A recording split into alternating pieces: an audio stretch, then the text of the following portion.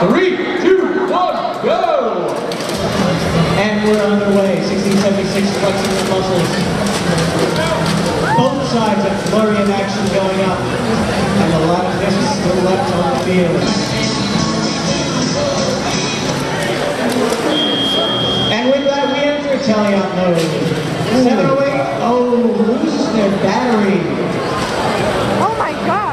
Interesting about 708 though, they do run an on-season district event, Agro War Show.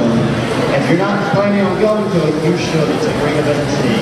And it's a week one event, so you get to see first chance of seeing what everybody's done in the off season. And probably a lot more batteries fall in. It does happen from time to time. 1676 in the meantime, overshooting a little bit. 316, 1, 2, 3, and 4 on the mark. 4 for 4 for easy 12 points. Forty-six thirty-seven. After loading up, they're getting ready to shoot. Eight thirty-four is going to say, ah, we don't want that to happen.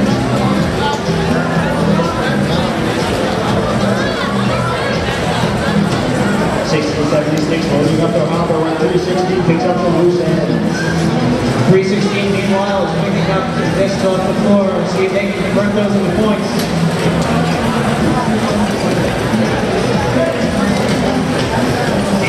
834, 4637, that's a little right there.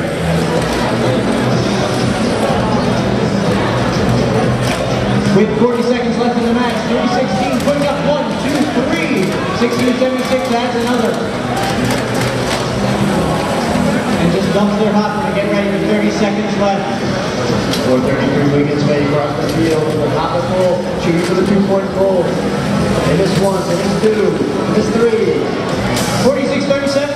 46-37 is up. 1676 trying to get that 10-point blind. They just cannot line up yet, but with 13 seconds left, they've got a shot.